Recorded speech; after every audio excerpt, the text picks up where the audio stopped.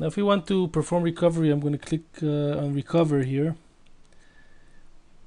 And we can see SQL Server in the list of, uh, actually the only one on the list of uh, instances to recover from. And uh, we have here also a link VSS disk shadow data under external data. And we can see here the output of the creation of the shadow copies. We can see that each shadow copy has a shadow copy ID. So uh, we will not get one of uh, C, but we have one of E and D. So we can use them to uh, revert to those uh, snapshots. So what I'm going to do now, I'm going to recover. Let's just do something else first. Just stop this uh, server. Okay. It's like simulating it was it was crashed or something like that. Okay. So now I want to recover a new one. I'm going to click on recover instance. As you can see it says Windows platform does not support snapshot based root device so I have to uh, do it from an image. I can't take the latest image I want. I can do that by uh, clicking on uh, AMIs and this is uh, no actually this is my SQL Server image my latest one. Let's copy it and I'm gonna paste it here instead of the original image instances to launch once. Uh, I'll leave everything else as is which means it will recover uh, everything with the same settings the uh, original server had. So I'm going to click on recover instance and OK. It should take a few seconds and you can see uh, recovery operation succeeded over one instances. We have the instance ID I can go to instances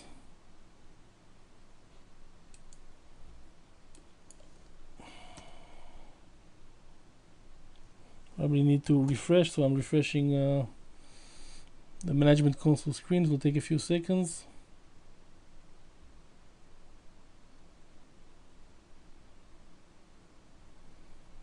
Okay so we have here a new SQL server can change it to recovered SQL just to be able to distinguish them. As you can see the original SQL is stopped but the, the recovery is now uh, starting. I'm gonna wait a few minutes for it to finish booting and all that and I will log into it and then we can see how we can revert to the snapshots. Okay, we're back. I'm logged into the new server. It took a few minutes to boot. Uh, I have here the configuration manager of the SQL server. I'm just gonna, what I'm gonna do here, I'm gonna stop the SQL server service for uh, just a few minutes before we start working.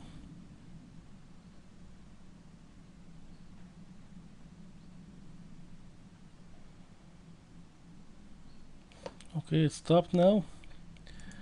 And I am going to open a command prompt and type disk shadow. Disk shadow is the utility that uh, handles uh, shadow copies in uh, Windows 2008 and I need the command revert to two snapshots. Let's see again what I have here. Uh, so I have this data and I have volume C which I can't use because volume C was again we did not launch the from the snapshot so it doesn't really matter here but the logs and data of the database are in in DNE so we have here the copy ID of drive E doesn't the order really doesn't matter here so I'm going to click type revert and type this Okay, you can see revert. The volume was successfully reverted to the shadow copy. Now I need the other one.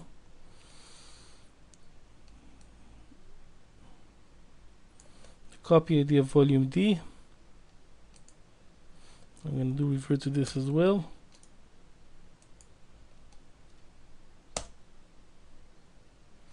And again, revert was successful. So I can actually exit and I can start my SQL uh, server again.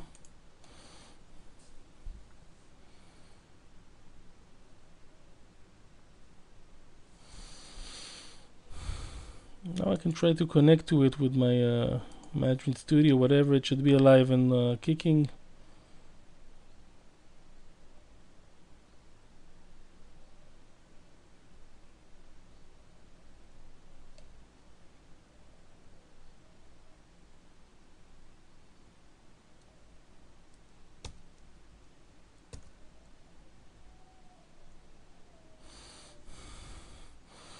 it took, a few seconds to load. I'll connect.